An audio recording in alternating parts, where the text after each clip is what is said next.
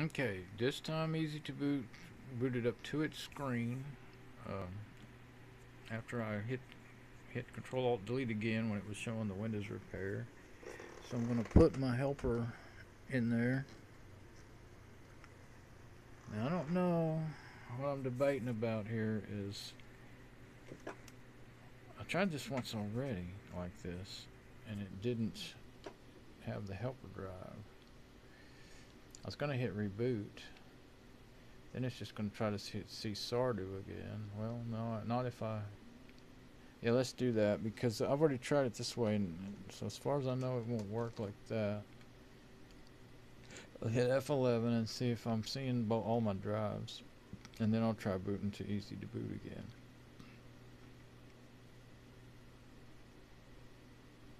Oh, I just about forgot to do it.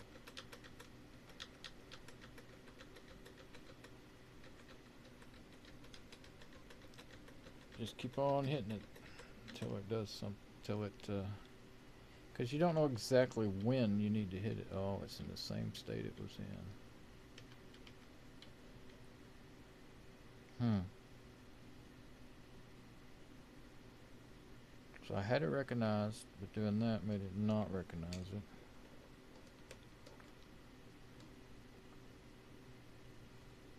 I just hit Control Alt Delete. I'll just hit F11 again.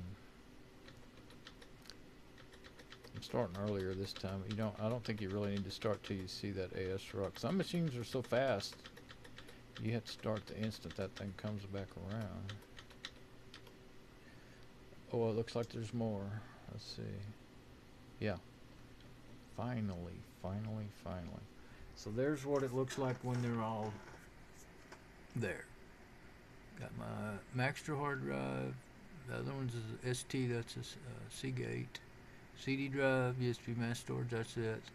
SanDisk, and one of those SanDisk is just that, uh, is a Sardu, the part of it was Sardu that'll boot, and the other one is that add-on partition. That's one reason why I always wanted to get that off there, but I can't. It's made from the factory, and I never found a way to get right privileges to delete it. Actually, I think I did. I think I was able to delete it. Yeah, I was able to delete it by just using root privileges in Linux, but then it just come back, so it didn't really delete. So anyway, uh, you have to remember, sometimes you just have to try both of them. I can't remember if it's the top one or the bottom one that, that actually would work. But anyway, what I want is my mass storage device, which is my 32 gigabyte easy to boot setup. And I believe that helper will just help now, hopefully that helper USB. So if you're going to do this, you and you don't have anything on you, any uh, sort any other bootable thing on your your other uh, USB stick, you'd be a lot easier. Windows install menu. Windows 7 5 present finally. Now that I finally got it to boot, I'm scared to not go ahead and do it. Okay, home premium, x86, 64. So, yeah, professional, OEM for Pro, professional 64, home premium, x86, and the bottom one, the one that's red now, is home premium 64 bit. I'm going to go in there because I want to know. See, don't I have to hit zero or something? Yeah, I think so. Yeah.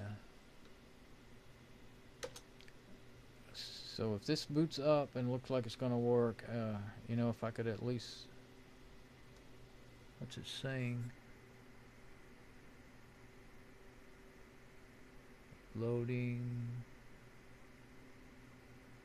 Error. grub4docnl.net. Inconsistent file system structure. Press any key to continue.